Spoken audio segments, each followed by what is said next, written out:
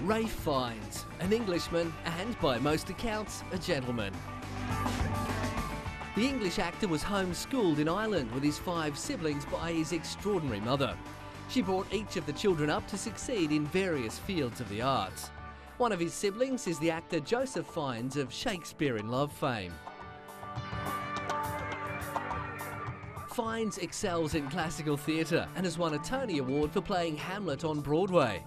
In 2001, Fiennes received the William Shakespeare Award from the Shakespeare Theatre in Washington, D.C.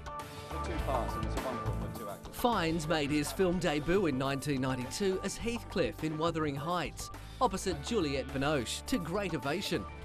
It was his next role that gave him a global profile, portraying the amoral Nazi concentration camp commandant in Steven Spielberg's Schindler's List, for which he won a BAFTA award.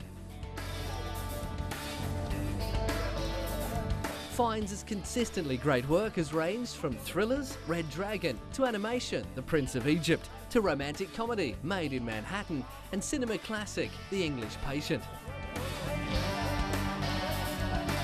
The Constant Gardener was released in 2005, with Fiennes as the title role. The film is set in the slums of Kenya, and the actor, who was greatly affected by the subject, set up a charity to combat poverty in the area. Ralph Fiennes has the dubious honour of finding himself the embodiment of evil, Lord Voldemort in the fifth film, Harry Potter and the Order of the Phoenix.